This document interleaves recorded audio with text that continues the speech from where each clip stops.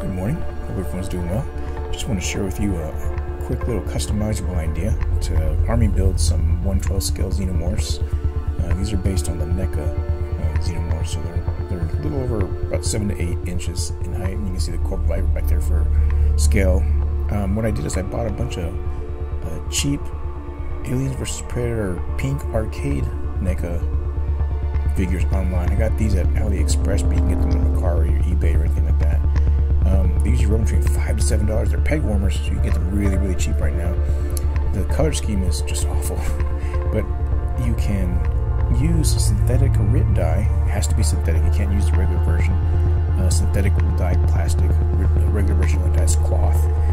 And dye the figure black. You have to do a little bit of joint manipulation uh, while you're dyeing it to make sure you get all the nooks and crannies.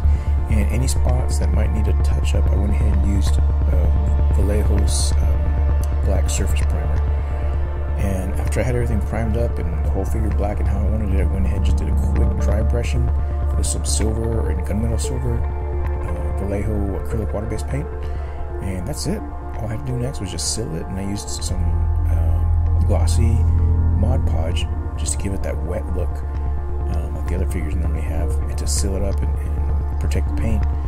And once it dried, here's the here's the final result. It's right here. Got three of them 15 bucks, and I got each of these would normally cost forty dollars a piece, versus the 15 dollars I spent for all three of them. And about 10 minutes to dye, 10 minutes to paint each one. Uh, it's going about 40 minutes altogether, and turned out pretty good. I like the results pretty well. There's a little bit of color discoloration there, but I actually like it. it makes it look each one seem a little bit individual. Um, yeah, there's a real quick way to army build some xenomorphs for cheap. And uh, I hope you like this video. And if you have any questions, please let me know. Feel free to answer them. And hope everyone has a good day. Thank you.